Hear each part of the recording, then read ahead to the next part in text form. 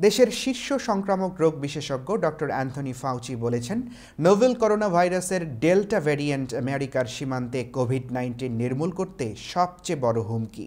মঙ্গলবার তিনি এ মন্তব্য করেছেন। ব্রিটিশ বার্তা সংস্থা রয়টার্স এ খবর জানিয়েছে।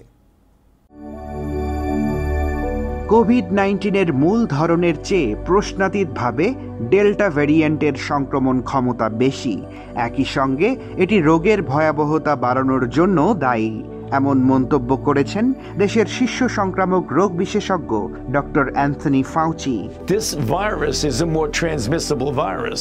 Right. Therefore, children will more likely get infected with this than they would with the alpha variant. শুক্রবার ডাব্লিউএইচওর প্রধান বিজ্ঞানী বলেছিলেন, বিশ্বে করোনা ভাইরাসের সবচেয়ে শক্তিশালী ভ্যারিয়েন্টে পরিণত হতে যাচ্ছে ডেল্টা ভ্যারিয়েন্ট।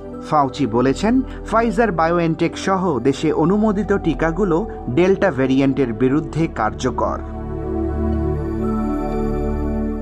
এর আগে সিডিসি ডেল্টা ভ্যারিয়েন্ট নিয়ে উদ্বেগ প্রকাশ করেছে। সংস্থাটির পরিচালক ডক্টর রোশেল ওয়ালেন্সকি বলেন, ভারতীয় ডেল্টা ভ্যারিয়েন্ট শিগগিরই আমেরিকায় করোনা ভাইরাসের শক্তিশালী স্ট্রেইনে পরিণত হতে পারে। উল্লেখ্য, ভারতে এই ভ্যারিয়েন্ট প্রথম শনাক্ত হয়।